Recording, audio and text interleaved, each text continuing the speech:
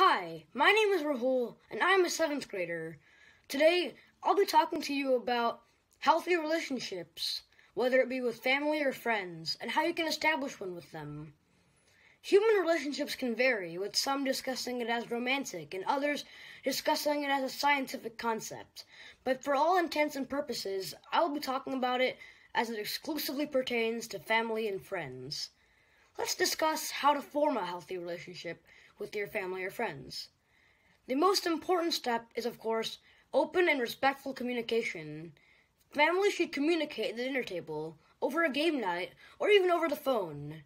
The same applies for friends. These conversations should be frequent. Another excellent tip is acceptance. If you are a parent and your child has done something wrong, like failed a test, you shouldn't hurt them with harsh words or insults.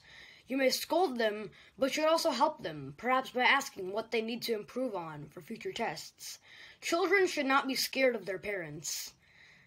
As a friend, we should be respectful and accepting of our friends that are different from us. And my final tip is bonding.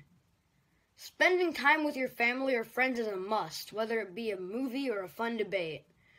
With that, I close off my statement with the conclusion that there are three steps to a healthy relationship with your family or friends communication, acceptance, and bonding. Bye.